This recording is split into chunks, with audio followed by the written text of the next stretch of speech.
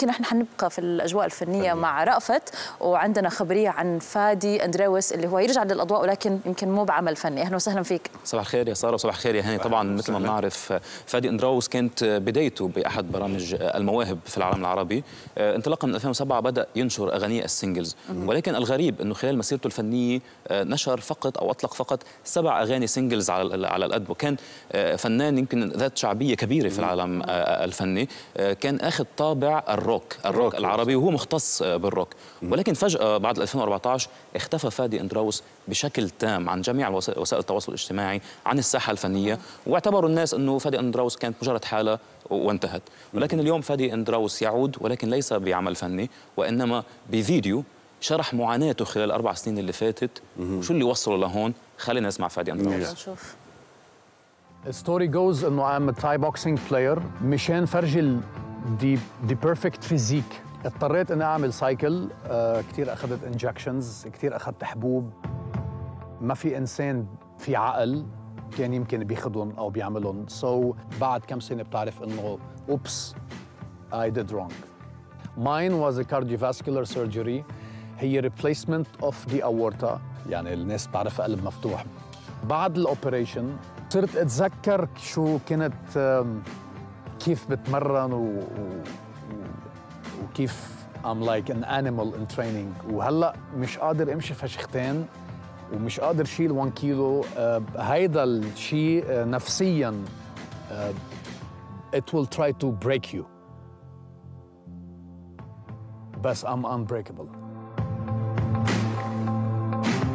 مثل ما شفنا هيدي رسالة فادي أندراوس اللي عبر عن وجعه خلال الاربع سنين اللي اللي مرقت. طبعا شاب صغير كان يحب أن يهتم بمظهره وهي رسالة لكل الشباب اللي بتهتم باجسامها وبالجيم إنه ما يلجأوا لكل هالوسائل الاصطناعية لحتى يحسنوا من مظهرهم. فادي أندراوس أكبر مثل وتأثيره على الشباب كبير طبعا. فكنا شايفين هذه الرسالة وبعتقد في سؤال كبير هل حنرجع نشوف فادي أندراوس بأعمال فنية من بعد هذا الفيديو؟ فيبدو إنه في تحضير لأعمال فنية جديدة. فكل التوفيق له طبعا تحية كبيرة لفادي الصراحة يمكن يحتاج منه جرأة كبيرة إنه هو يطلع بالموضوع بكل صراحة ولكن هو فعلا استغل الموضوع عشان ينقل ال message ولا الرسالة الإيجابية لكل الشباب. يمكن إحنا دحين بالذات في ال social media من التصوير اللي إحنا بنشوفه صار عندنا هوس ال look المثالي. كان من الوجه من الشعر من الجسم. فعلا. فيمكن هذا بيؤدي بعض الناس انه هم يأذوا نفسهم عشان يوصلوا لهذا ال look.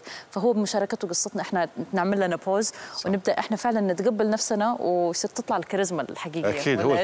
فعلا الكاريزما الحقيقية. ونتمنى له إن شاء الله التوفيق ونقول الحمد لله على السلامة. مثل ما بتعرفوا كمان فادي اندراوس مش فقط فنان وإنما أيضا ممثل وهنحكي عن آه الأفلام. الأسبوع الماضي في بيروت أطلق فيلم بعنوان خبصة للمخرج شادي حنا.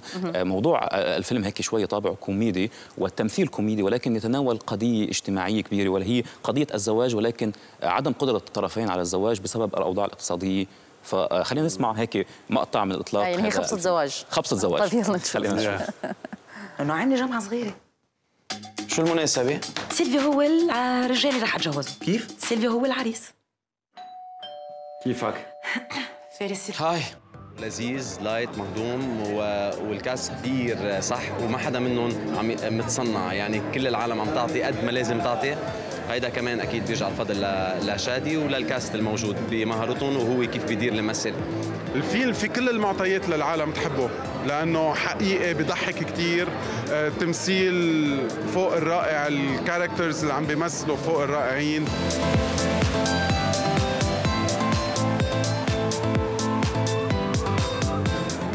بس كثرة الإنتاج يعني دليل عافية للسينما اللبنانية. بيقولوا لك إنه إيه لازم نضل نعمل فلومة مش بالكمية لازم بالنوعية. بس نفس الوقت ما في ضل ناطرته بدي ولد. يعني مثل ما شفنا هيك بعض الأحداث الطريفة من الفيلم. وخلينا نخبركم إنه الفيلم وصل إلى مهرجان بروكسل الدولي للسينما طبعا. حلو. فكل التوفيق للفيلم. بدور العرض طبعا وبالمهرجانات اللي عم بيفتل فيها ولفريق العمل طبعا. وحلو إنك تشوف خبصة الزواج بطريقة كوميدية شوية. أكيد طبعا. آه، خبرية الأساسية اليوم واللي جاي أحكي فيها آه، هي ذكرى ميلاد فيروز الثالث والثمانين. طبعا نحن بنعرف عيد استقلال لبنان هو اليوم ويوافق قبله بيوم آه، ذكرى ميلاد آه، فيروز. فكتير بيعتبروا إنه آه، الاستقلال استقلال فيروز وعيد ميلادها لما قدمت فنها للبنان فبدنا نقول لها من فريق صباح الخير يا عرب ومن أم بي سي كل عام وأنت كل الفن يا أسطورتنا فيروز. طبعا فيروز كلنا بنتحدث عنها كفنانة وكأسطورة ولكن فيروز أيضا إنسانة هي أم وهي زوجة. ولأول مرة حنسمع يعني شيء أنا حضرته بصوت فيروز ولكن مش فنان إنما فيروز الإنساني نهاد حداد خلينا نسمعها كان غير شكل الزيتون كان غير شكل الصابون. أنا بنت هالمرحلة القاسية صباح ومساء. شغلنا هو حياتنا. آه، ليل نهار.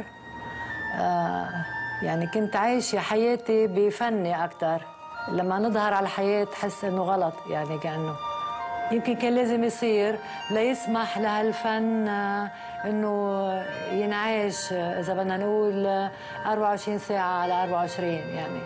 بعدك على بالي. كل خطوة مشيت عليها آه، جديدة بالنسبة للغنية كنت خايف أنا أعملها لأني ما كان بحس إني ما رح أنجح فيها.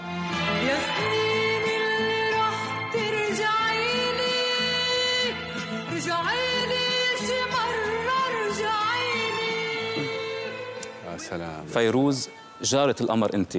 سنينك رح ترجع لك مع كل صباح ونكتب اسمك كل يوم على الحور العتيق. وإذا أمي نامت على بكير بعدك على بالي. العمر بيمضى. أهو ده اللي صار وبعده بصير لكن كلنا بنحبك ما بنعرف ليه. الله. الله كلمات حلوة رأفت صراحة والتقرير كمان حلو يعطيك العافية. فعلا يمكن إحنا أمس باركنا بعيدها وقلنا لها كل آه، عام وهي ب- بصحة ودائما إحنا نفتكرها بفنها القدير اللي ما يتنسى أكيد. فعلا. شكرا لك يا رافت. شكرا يا رافت. أنا معك. الأسبوع القادم. إن شاء الله. وتحياتنا للسيده فيروز ونتمنى لها طولة العمر يا رب.